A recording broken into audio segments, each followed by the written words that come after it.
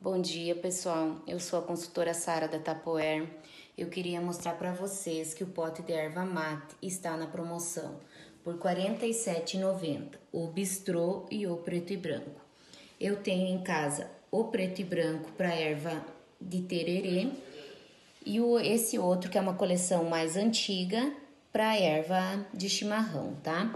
Eu coloco o nosso chazinho no tupper slim e hoje o nosso chimarrão já está pronto. O pote de erva é muito bom, pessoal. Ele conserva a erva sempre verdinha, tá? E ele cabe o pacote inteiro. Se vocês verem, eu acabei de pôr, tá bom? Obrigada.